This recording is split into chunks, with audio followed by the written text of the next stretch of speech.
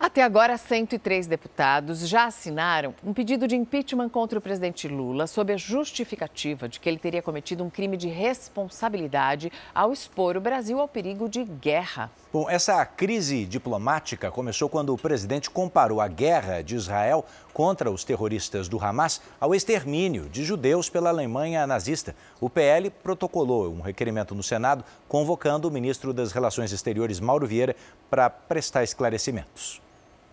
O assessor especial da presidência, Celso Amorim, esteve no Palácio da Alvorada com o presidente para avaliar a situação. O ministro das Relações Exteriores, Mauro Vieira, falou com o presidente por telefone. Para o Itamaraty, seria preciso fazer um gesto para contornar a crise entre os dois países. Israel declarou Lula persona non grata, o que significa que o presidente não é mais bem-vindo no país. O governo brasileiro encarou como desproporcional a reação de Israel e chamou para consulta o embaixador brasileiro em Tel Aviv. Frederico Meyer chega nesta terça à noite ao Brasil. A atenção chegou ao Congresso. O senador Carlos Portinho, líder do Partido Liberal no Senado, protocolou um requerimento convocando o ministro das Relações Exteriores, Mauro Vieira, para prestar esclarecimentos sobre a crise instaurada. Em nota, a Frente Parlamentar Brasil-Israel afirma que considera tendenciosa e desonesta as declarações do presidente que mostram o desconhecimento histórico e a falta de equilíbrio para presidir o país, reconhecido historicamente como um negociador da paz. Também em nota, as frentes evangélicas do Congresso Nacional afirmaram que comparar os ataques de Israel ao Hamas com o nazismo é provocar um conflito ideológico desnecessário. O texto diz ainda que não é justo exigir que uma nação se mantenha passiva diante de um ataque covarde que estupra e mata jovens, idosos e crianças das formas mais horríveis. E classifica as declarações de Lula de desequilibradas, além de não representarem o pensamento da maioria dos brasileiros e comprometerem a política internacional de forma desnecessária. O vice-presidente da Câmara, deputado Marcos Pereira, por uma rede social, afirmou: Israel e Palestina vivem uma tragédia sem precedentes.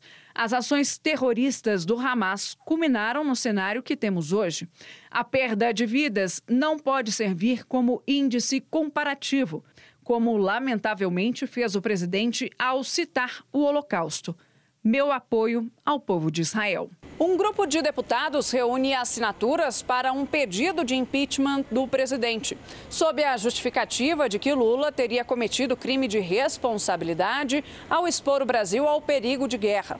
São necessárias 171 assinaturas. Em meio à tensão, pessoas próximas a Lula tentaram amenizar a fala do presidente. Por uma rede social, a primeira-dama, Janja, disse que Lula tem defendido a paz e principalmente o direito à vida de mulheres e crianças, que são maioria das vítimas na faixa de Gaza. Segundo Janja, a fala se referiu ao governo genocida e não ao povo judeu. O vice-presidente Geraldo Alckmin também tentou explicar as declarações de Lula. O presidente Lula, ele deixou claro duas coisas. A primeira que o ato do Hamas foi um ato terrorista, primeiro item. E segundo, que ele defende a paz.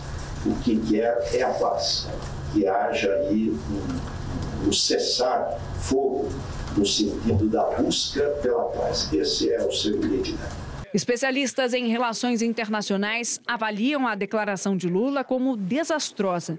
Segundo as análises, a fala causa problemas diplomáticos ao Brasil. Essa professora de Direito Internacional explica que é raro um chefe de Estado ser considerado persona non grata ainda esclarece que, a partir de agora, Israel toma uma postura de distanciamento do Brasil. Significa que ele, presidente Lula da Silva, não poderá ingressar em território israelense, seja como chefe de Estado, seja na condição de presidente da República, seja na condição de pessoa, de cidadão comum, de pessoa física como nós.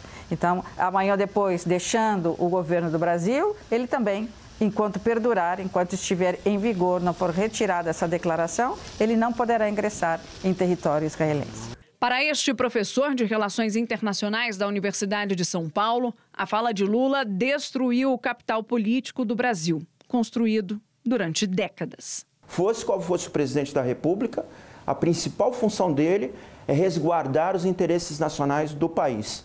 E ao falar uma aberração dessas, condenada por toda a sociedade internacional, como é associar o Holocausto ao país que foi a principal vítima, ao povo que foi a principal vítima dessa barbárie, ele simplesmente faz isso. Ele destrói capital político do Brasil.